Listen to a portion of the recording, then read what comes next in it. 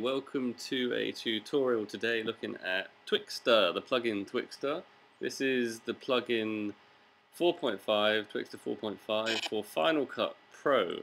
Um, I would probably recommend using Twixtor in After Effects. It's a little bit easier to do keyframing than working with it within Final Cut, but most of my students have been using Twixtor within Final Cut, so I'm just going to hopefully do a quick-ish tutorial on how to get it to work in Twixtor, sorry, Final Cut. So what we need to do is uh, first we've got our footage here, so we're just going to, this is the section we're going to create our slow motion on, this piece here. This was shot by some of my students and we're going to use that small chair area as our slow motion Twixtor effect. This was shot on a Canon 7D and it was shot at 60 frames a second. So what we need to do is we need to go and first we want to change the original footage from 60 frames to 24 frames. This will be a kind of first initial slow motion. So it will slow down the content to 20 from 60 frames to 24 frames. So let's get started on that let's move into Cinema Tools. This is where we can do it. So continue. And we don't need a database, so we can cancel. So we can go File, Open Clip. Find our three clips. Obviously, we just do one by one here because it's a bit easier. Open. We're going to conform this from 59.94 to 24. I mean, I'm using 24, but you can use 30, 29.97, 25, etc. I'm just using 24 because I like 24, it's easy. And hit conform. Now before you hit conform I would recommend that you back up your original source file to another folder. I've already done this, mine is over here, we can see the three files there. So hit conform and there we go, that's now changed from 59.94 into 24. Um, I'm not sure if I'm going to use this clip, but let's conform it anyway. And the next one, the third and final one, is the back feet shot. And let's conform and conform. And there we go. There's our three clips now conformed from 60 frames or 59.94 into 24. So let's just quickly have a look. So this was six seconds. We can see here the duration is six seconds.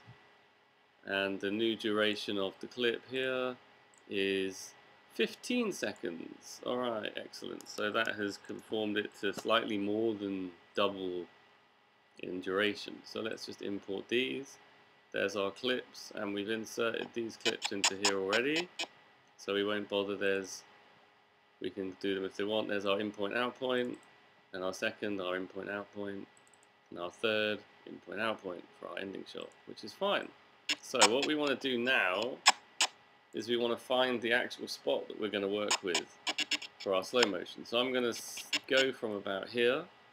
So in this case I'm going to make a cut point in my timeline. Play it forward. And let's go to about here using there and cut point there. So this is my kind of extreme slow motion point that I'm going to work with. So what I need to do in Final Cut, it's not like not complicated or anything, but it's a little bit different to how you can do it in After Effects. So I'm going to now take a copy of this. So Command C. I'm going to go to my browser and hit Command N and type in slow motion Twix in here. I'm going to press enter to bring me to my new sequence, my slow motion sequence. Now what is really important is, because we're going to make a kind of nest sequence, is we need to match these two sequences. So there's our original sequence here. This is command 0 we'll show you 24 frames. So let's go to our slow motion sequence. And the easiest way of doing it is just to drop in the same content into the sequence. It should now, then you can delete it, command 0, and it's 24. Perfect. So they're now matching. So what we're going to do is we're going to paste the content that we've just copied from our original sequence into our timeline, our nest sequence. So this is probably enough. Probably about 20 seconds is okay, but you know, it doesn't harm to do any more. let's then move to our original sequence. There's our original sequence. So we can delete this section because we want to get rid of this. There it goes. And let's take our nested sequence, slow motion Twix. This is our sequence. And let's insert that into our gap. Now we can delete the audio because we don't need it. I know it's going to say render the audio. So let's just render that very quickly because it's else it's just going to sit there as red. And let's pull it down. Maybe we're going to look at about five seconds of slow motion, something like that. So we're going to move that, and obviously we would need to then amend our audio, but whatever. We're not too fast. Actually, I'm going to delete the audio. Okay. So this is our slow motion section, our nested slow motion section. So now we can go ahead and select this, go up to our effects and our video filters, our Revision plugin and Twixtor 4.5. This is what we're using in Final Cut. Hit the button and it comes up as rendered. So we need to render that later, but we haven't done anything. Now, if I double click this nest, this sequence, it's just going to take me back to my sequence. So the easiest way and only the way we're going to work with the filter is just hit the return key on the keyboard and it jumps into our viewer. So now we can see our Twixtor uh, effect here. So we've got our filter, there's our filter. So our output, we're not going to touch our output. We're not going to touch any of these others here. Motion vectors is best. We don't really worry about this. We could put that on if we want, but I don't bother. Motion sensitivity is fine. Our speed is fine. So that's what we're going to work with. I'll come back to that. Our frame interpretation, now because we've got some motion going on in this, as we can see the feet move and the chair moves and stuff, we want a motion weighted blend on this. So we're going to blend that and we're going to click Smart Blend so it works with these sections of the feet and the chair and it blends them nicely together. Well, we hope it blends them nicely together. Now our speed, depending on what speed we want it to look at, I'm going to select 25 and I'm going to work from 25% and hit tab. Now I need to render this, so I will render this and then we will come back once we are rendered. Okay, so we have rendered out. Um, I've moved a few things around after I finished the render and I actually I extended this track because it was about here I think originally I just extended it out a little bit to have a bit more of an effect.